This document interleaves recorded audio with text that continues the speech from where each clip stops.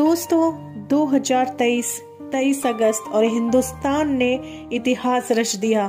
शाम छह बजकर पाँच मिनट पे इसरो ने अपने चंद्रयान तीन के लैंडर विक्रम को सफलतापूर्वक लैंड करवा दिया चंद्रमा के दक्षिणी सतह पर।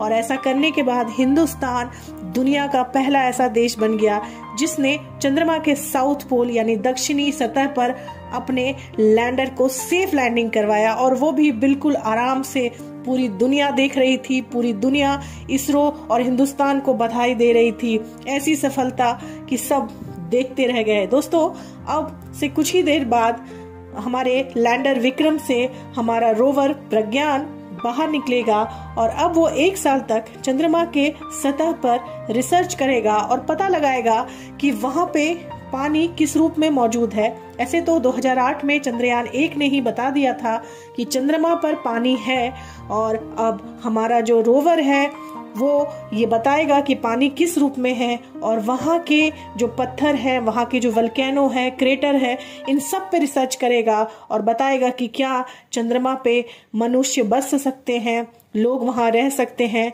मनुष्यों की बस्ती बसाई जा सकती है। कहीं ना कहीं ये भविष्य की ओर एक बहुत बड़ा कदम है। सबको बधाई।